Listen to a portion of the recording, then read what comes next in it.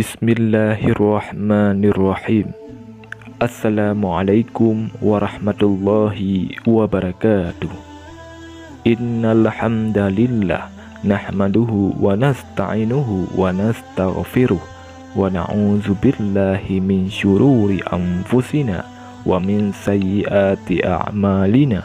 May yahdihillahu fala mudhillalah wa may yudlil fala hadiyalah Ashhadu an la ilaha illallah wahdahu la syarikalah wa ashhadu anna Muhammadan abduhu wa rasuluh. Allahumma salli ala sayyidina Muhammad wa ala ali sayyidina Muhammad. Syukur Alhamdulillah kita dapat berjumpa kembali di channel ini Harapan dan doa saya semoga saudaraku semua yang menonton video ini selalu diberikan kesehatan, dilapangkan rezekinya, diampuni dosanya, dan dipanjangkan umurnya. Amin. Amin. Ya Rabbal Alamin. Saudara muslim yang dirahmati Allah Subhanahu wa taala, sebagai manusia, kita tentu menyadari bahwa diri kita tidak akan pernah luput dari salah dan lupa. Bahkan untuk menghindari dosa menjadi suatu hal yang cukup sulit. Padahal kita tahu bahwa perbuatan dosa akan menuntun kita ke neraka, di mana neraka merupakan tempat yang paling buruk. Tidak akan ada manusia yang mampu bertahan lama di dalamnya. Untuk itu, kita harus bisa membersihkan diri dari segala dosa sebelum hari penentuan tiba. Maka kita harus berusaha menghapus segala dosa-dosa yang telah diperbuat.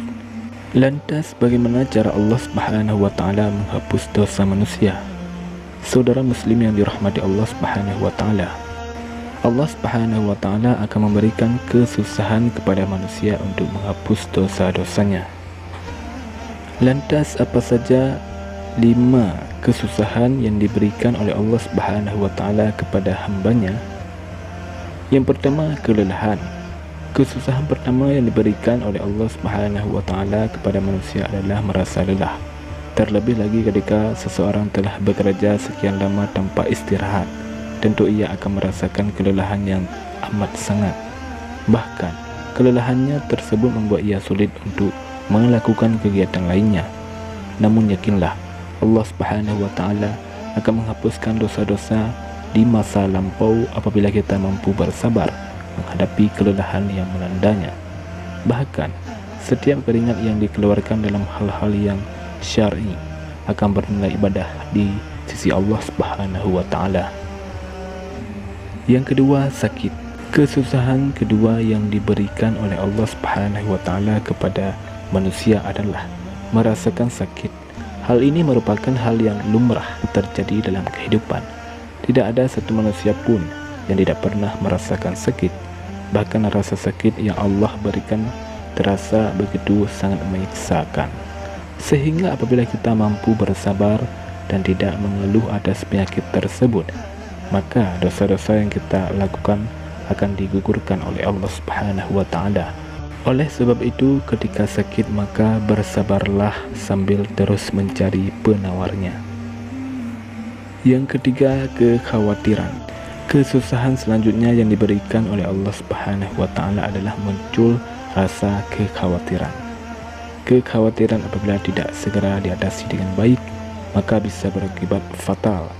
Oleh sebab itu, serahkanlah segala urusan kepada Allah Subhanahu wa taala. Sebagai manusia kita hanya bisa berusaha dan berdoa.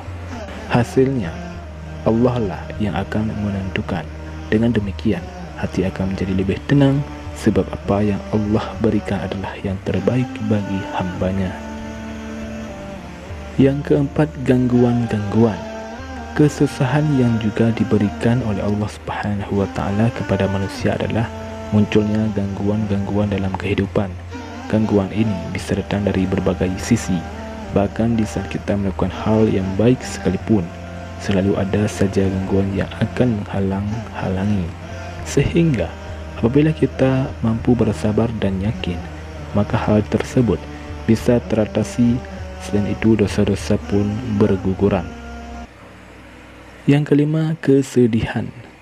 Kesulitan terakhir yang Allah Subhanahu wa taala berikan kepada manusia untuk menghapuskan dosa-dosanya adalah berupa kesulitan.